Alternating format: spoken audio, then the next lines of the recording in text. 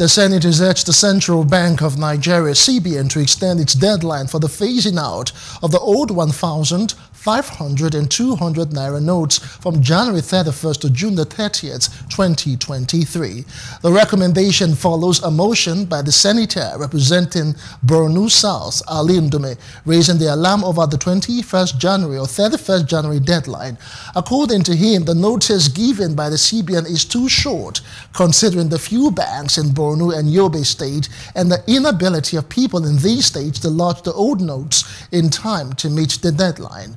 On October 26 this year, the CBN Governor Godwin Emefiele announced the redesign of the three bank notes, saying the new and existing currencies will remain legal tender and circulate together until January the 31st next year. Hello. Hope you enjoyed the news. Please do subscribe to our YouTube channel and don't forget to hit the notification button so you get notified about fresh news updates.